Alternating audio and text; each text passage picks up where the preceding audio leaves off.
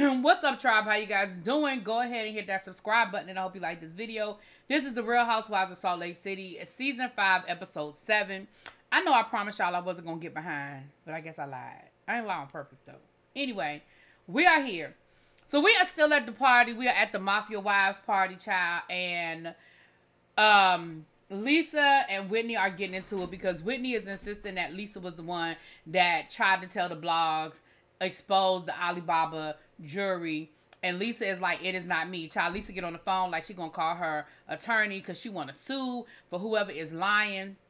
And then the two of them get to arguing, and then the husbands get into it. Listen, I don't even care anymore at this point about who like, I don't think there's really any one husband to blame because I feel like the husbands were doing what the husbands were supposed to do. Because Lisa did sort of snap at Whitney's husband, but Whitney's husband did sort of snap at Lisa and was like, My wife's not a liar. And Lisa was like, Your wife is a liar. And he was like, My wife is not a liar. And then he sort of got loud. So then Lisa's husband jumped in, which is what he was supposed to do. When you see another man get loud with your wife, you're supposed to check him.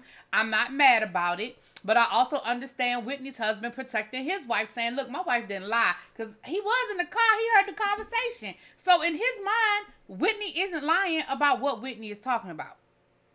But at the end of the day, I can't take none of this seriously. You know why I can't take none of this seriously? Because Angie decides that she needs to bring the temperature down in the room, so she wants everybody to pray.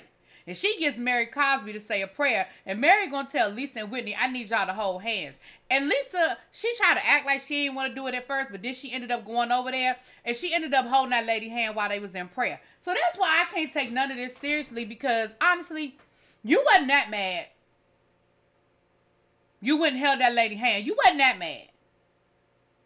So then Whitney and her husband ended up leaving, and Whitney is all in her feelings because she just know that she right. Listen, and Adam said that you ain't tell the truth.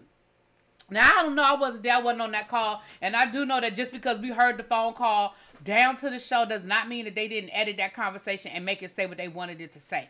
But neither here nor there. Everybody left. The party was over. So the next day, we have Lisa feeling some kind of way about how everything went down. We have Whitney feeling some kind of way about how everything went down. And we have the husbands feeling some kind of way because for real, for real, they like each other, right? They really not beefing like that. It's just a matter of them coming back together and trying to resolve it. Now, you got Whitney husband over to the house pouring out all the products that they own that um belong to that come from Lisa Barlow, like her her her vodka and and I guess she sells energy drinks or something too. I don't know, but you do know how stupid that is, right, sir? They already have your money. Like I've never understood that concept of well, we're gonna burn all the things that we don't like, or we're gonna burn your your records, or we're gonna pour out the liquor. You done already bought it. Y'all might as well enjoy it. Just don't buy no more. So stupid. Anyway. But this is fun reality TV that I'm okay with, right? I do not like the unfun reality TV where we talking about SA and paternity of people's kids and stuff like that. This is the fun this is the fun reality stuff that you pouring products out that you know good and daggone well You're gonna turn around and buy some more next week because by the end of this episode the husband's been made up but we'll get to that so then we have heather meeting up with um I don't even remember this lady name because she is so not important to me. The lady that's dating the Osmond boy. Do y'all know how stupid she look? Does she know how? Not y'all. Y'all know. Does she know how stupid she looks and sounds on this TV show?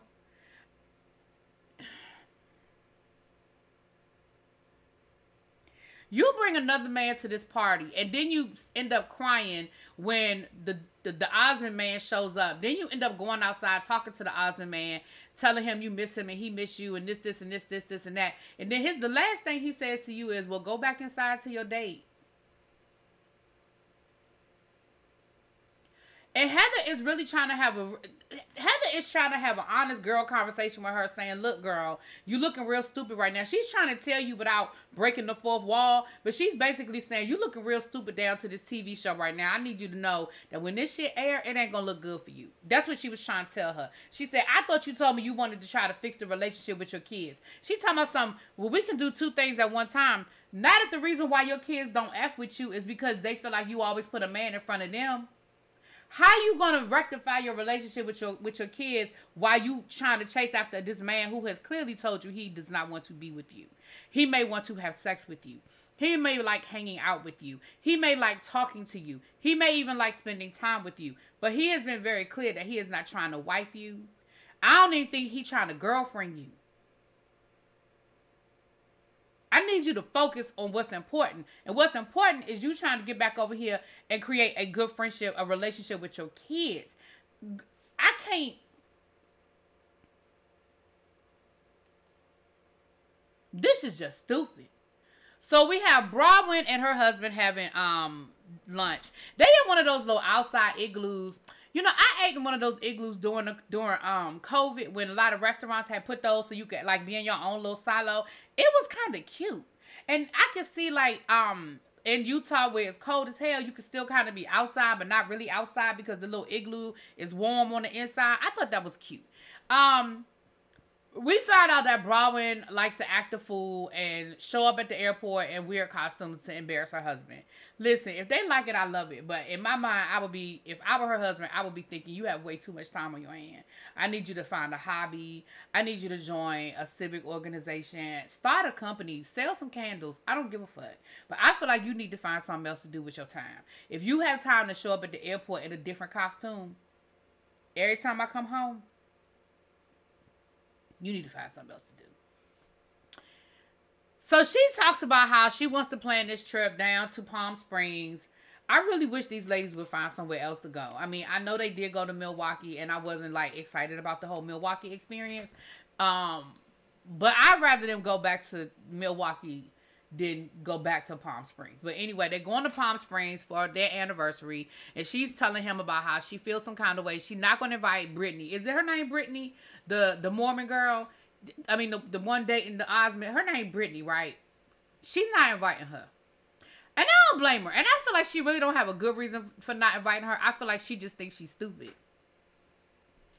Because I didn't really hear a good reason for her not to invite her other than she dumb chasing after this Osmond man. I keep calling him a boy. He not a boy. He a grown man. But y'all get the point. So then she starts talking to him about what had happened with um her daughter and her daughter's grandparents. And I feel like her husband let her get it all out because he understands the assignment. But basically, when she got done talking, he was like, look, I really don't want to talk about this no more. You know how I feel about it, and we're gonna move forward. Those people have never wanted to be a part of that child's life. They have never done anything nice for her. They have never extended themselves to her. So honestly, at this point, I'm not really concerned about them doing it now. And if they've already upset my daughter, because that's his daughter, if they have already upset my daughter before they've even had a chance to meet her, yeah, I ain't really, I'm not really with it. And she was like, "Well, I can't tell her that." He was like, "I don't see why not." I mean, if they ain't shit, they ain't shit. And I'm okay with you telling her that. And I, I, I see where he coming from. Even though last week I said I appreciated that Bronwyn did not allow her own personal opinion to get in the middle of what her daughter's decision was gonna be. But I understand how he feel. He like, look, I picked up the pieces. I've been been her daddy. My family have been treating her like like grand her their granddaughter and everything else. I mean, I don't know that to be a fact. I'm just gonna assume that that's how it went down. But 100% understand where he coming from. He said, and I'm done with this. I said my piece. Are we done filming? Cause, cause he was done. So then we see Lisa's sisters in town. So we see Lisa going, uh, they're going out to lunch. And listen, so Lisa is talking about how she feels some kind of way about the whole situation. And then she starts talking about Henry and her, her other son and how, you know, the oldest son was, you know, a lot more outgoing, had really good friends. And the younger son sort of kind of, you know, latched on to Henry and his friends. And now that he's gone, his son, you know, the, the youngest son is sort of trying to figure out, figure it all out. And then she tells a story about how Jack, that's his name. No, Jack is the uh, is Jack the oldest one? Y'all know which one I'm talking about. The oldest and the youngest. It's Jack and Henry, but I honestly right now I think Jack is the oldest. No, Henry's the oldest. I'm not about to spend a whole lot of time on it. Y'all know who I'm talking about. But I be listening to stuff that people are saying and reading between the lines. So Lisa gets upset telling this story about how the youngest son had a birthday party and basically nobody came to his party. But did y'all peep what Lisa said? Lisa said, well, he sent out last minute invitations to his birthday party, and all of the kids in his school decided to go to another kid's party.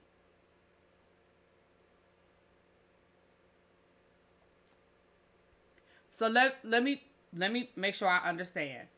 I was invited to a birthday party 2 weeks ago. I said I was going to go to that birthday party 2 weeks ago. A week later, your son sends out an invitation for a party that's going to happen that weekend and I'm supposed to change my plans or I'm supposed to my my child is supposed to change their plans. So I don't think his friends left him hanging or treated him bad. I think you poorly planned a birthday party and your son suffered from it because he decided to do something at the last minute and expected everybody to just be available and they weren't. I I mean I understand it might have hurt his feelings, but I also feel like we I don't feel like that's a good example. And then for you to turn around and be like, I am a good mother. I'm not saying you're a bad mother, Lisa, but what I am saying is that's not a good example to show that he doesn't his friends he don't really have good friends. I just don't feel like that's a good example. Because if it were my child, I would tell my child, no, you're going to go to the party you said you were going to go to. If you RSVP and they're expecting you, that's the party you're going to. Am I tripping? Put it in the comments if I'm tripping. Okay. So then, Bronwyn, Whitney, and um Angie, they're out walking and they're you know recapping what happened down to the um to the mafia wives party. Whitney is once again saying that you know lisa did it. She's got proof that lisa did it. She's talking about the husbands getting into it.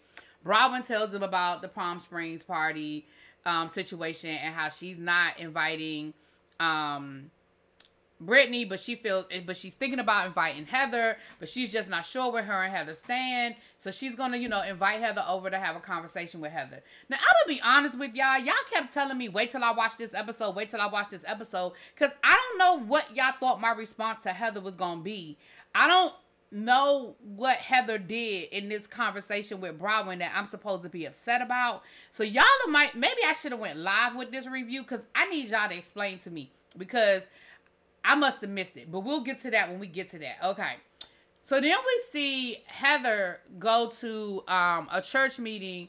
Heather and Angie go to Britani's church meeting, and so we get another glimpse into. I guess these are the things that they do in the Mormon Mormon lifestyle. Angie, why in the hell would you show up to a Mormon prayer meeting with a bottle of wine?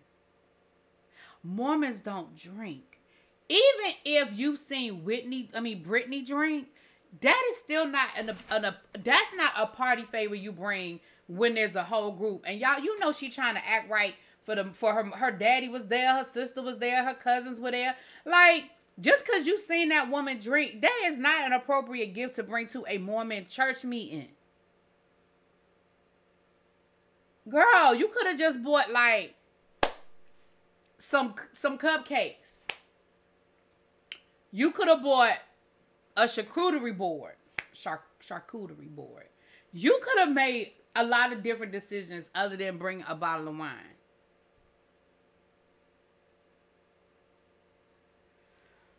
Moving right along. So after the meeting is over, because we don't care about the meeting. After the meeting is over, Angie is talking to Heather about how Bronwyn is feeling, and, and Heather is like, "So I'm not. So what? I mean, what?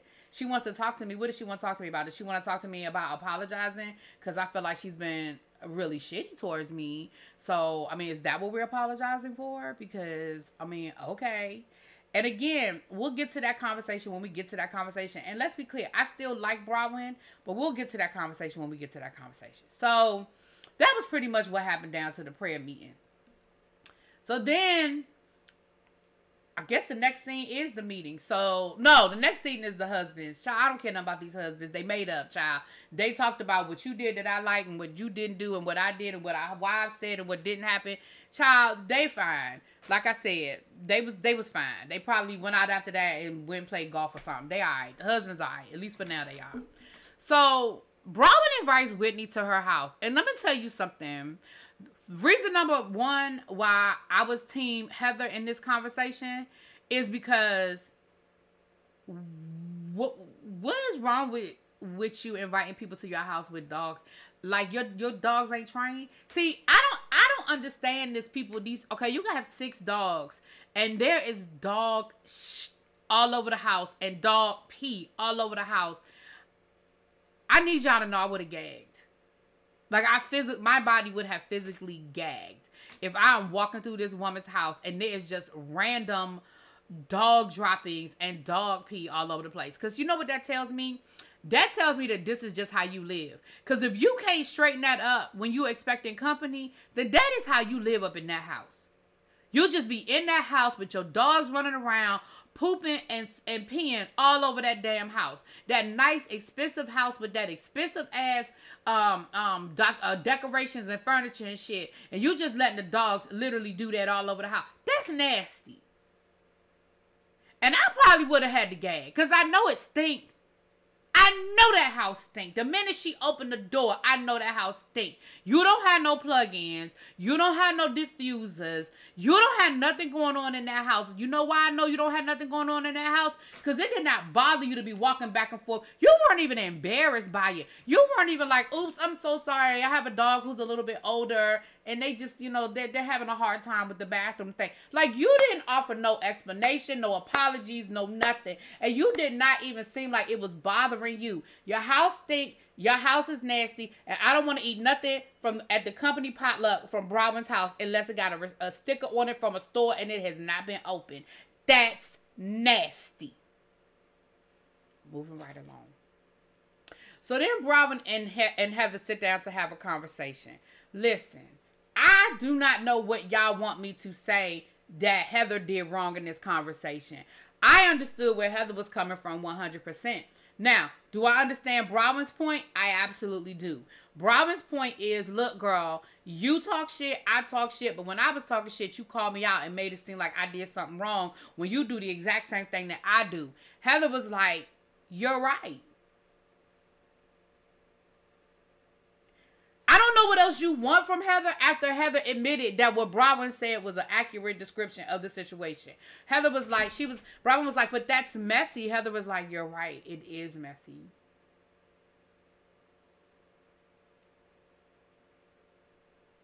Did I, I watched it twice because I said, maybe I missed something. I watched it twice, y'all. I don't understand. I don't know what y'all want me to say. Because Heather agreed with Brodwyn that she was messy. So then Brodwyn, so then Heather was like, I'm not even sure why you invited me over here if you didn't invite me over here to for us to come to some resolve. But you want me to just apologize why you don't really want to admit that you didn't do anything wrong. I'm not sure what you want from me. She says, Well, honestly, I invited you because I am having this trip to Palm Springs and I'm not really sure if I want to invite you. So then Heather was like, Oh, so I'm supposed to like sing for my supper and beg for an invitation to go to Palm Springs? Heather, I feel like again, I feel like Heather. So you invited me over here to apologize to you so I could get invited to your to your little situation.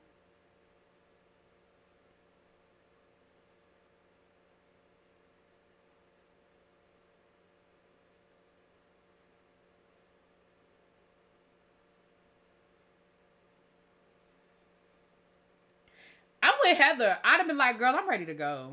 I'm ready to get out this shitty house that stink with these dogs running around.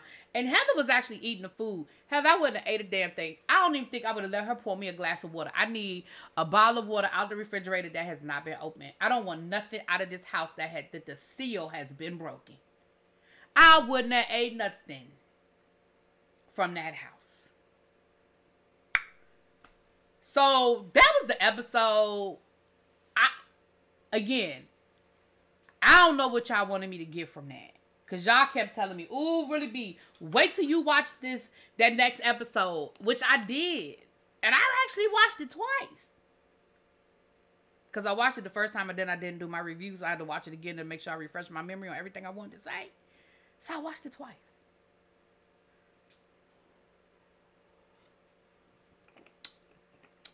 Let me know what y'all think. Tell me in the comments what I missed. I'll talk to y'all later. Peace.